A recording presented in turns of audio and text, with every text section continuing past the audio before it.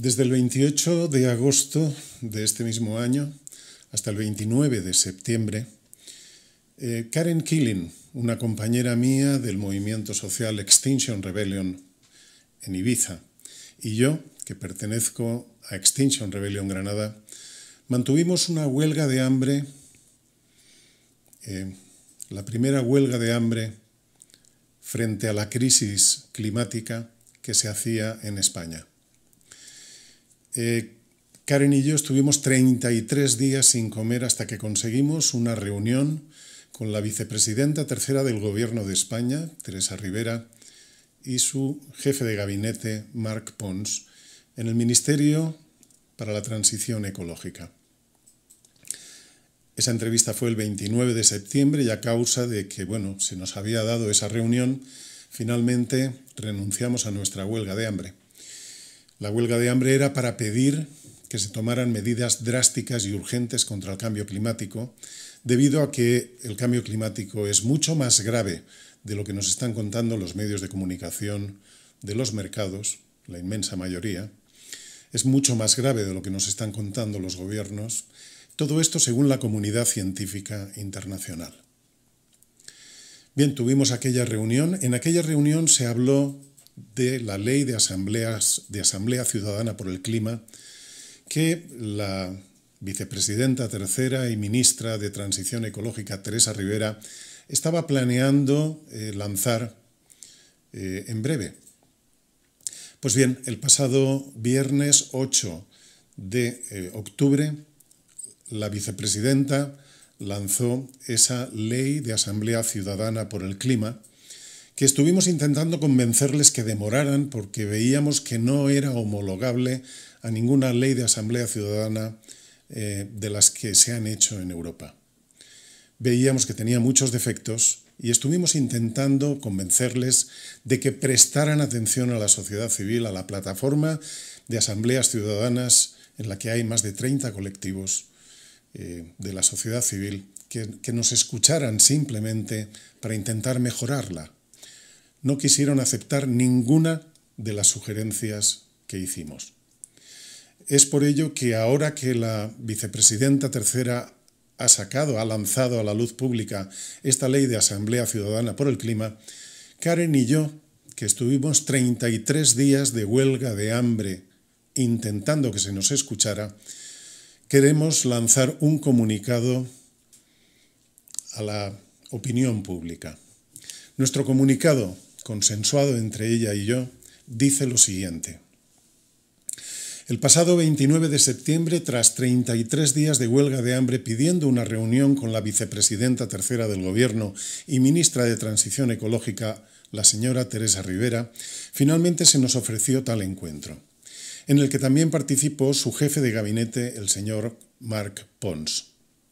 Durante alrededor de 15 minutos con la vicepresidenta y de otros 45 minutos más con su jefe de gabinete, les vimos a sentir como conocedores de la gravedad de la situación, con previsiones de entre 200 y 1.000 millones de refugiados climáticos para 2050 y las advertencias de la comunidad científica de, una más que posible extinción humana a lo largo de este siglo.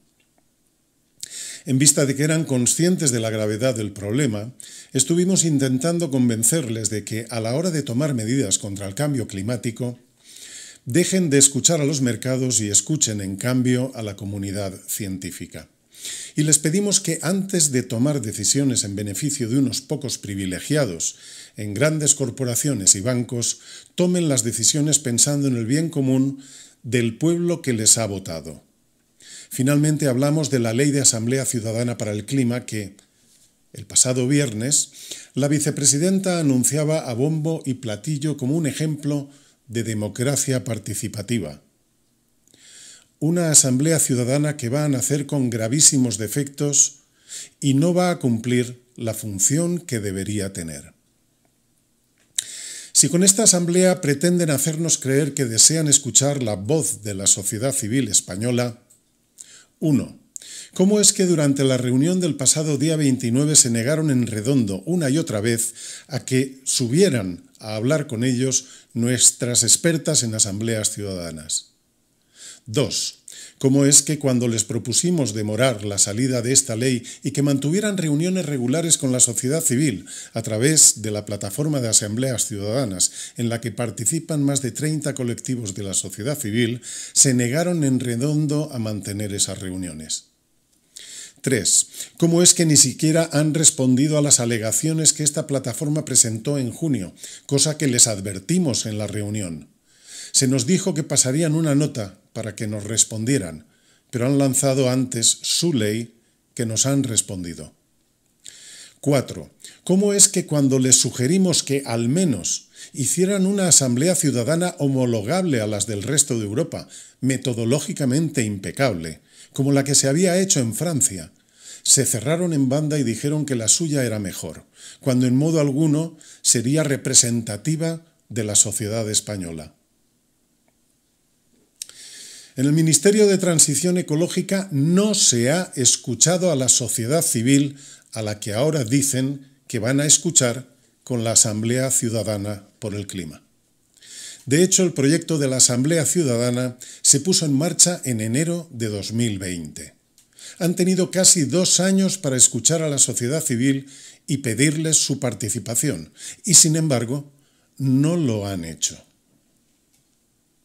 Por otra parte, si finalmente nos escucharon a las dos personas de Extinction Rebellion a las que nos concedieron la reunión con la vicepresidenta, fue después de 33 días sin comer y tras varios rifirrafes por teléfono con propuestas de reunión que no buscaban otra cosa que desactivar nuestra protesta antes de tener un cara a cara con, con la señora Teresa Rivera.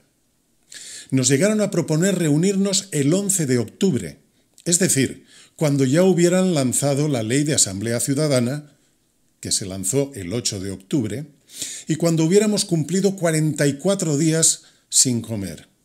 Con ello buscaban evidentemente que dejáramos la huelga de hambre antes de reunirnos, menguando así la fuerza de nuestra protesta, al tiempo que respondían a nuestras pretensiones con una política de hechos consumados. Es por todo ello que nos atrevemos a afirmar que esta ley de Asamblea Ciudadana por el Clima no va a ser otra cosa que una farsa, un simulacro, una simulación de participación ciudadana y democracia participativa, cuando en realidad van a hacer lo que consideren oportuno para beneficiar a las grandes multinacionales y bancos, prescindiendo de la opinión de la comunidad científica y de la voluntad del pueblo que les ha votado. Es decir, han hecho oídos sordos a todos los intentos de la sociedad civil por participar activamente en la construcción de una asamblea ciudadana que, supuestamente, era para escuchar a la sociedad civil. Grandísima paradoja. Al menos nuestra postura como miembros de Extinction Rebellion España les quedó clara cuando vimos que se negaban en redondo a todas las propuestas y sugerencias que les llegábamos a hacer. Entonces nos tendréis enfrente en las calles, les dijimos con tristeza, pero con determinación. Como ya dijimos durante la huelga de hambre, parafraseando las palabras de Gandhi, la verdadera fuerza no la tiene quien ostenta el poder. La verdadera fuerza la tienen quienes disponen de una voluntad indomable. Y en Extinction Rebellion hemos demostrado que disponemos de una voluntad indomable. Si queremos justicia social y ecológica, vamos a necesitar una insurrección ética de la sociedad civil, tal como decía José Saramago en sus entrevistas. Una insurrección no violenta, como la esbozada por el Premio Nobel en su ensayo sobre la lucidez. Nos vemos en las calles. Firmado Karen Killing y Kriyan Kutanda. Gracias por escucharnos.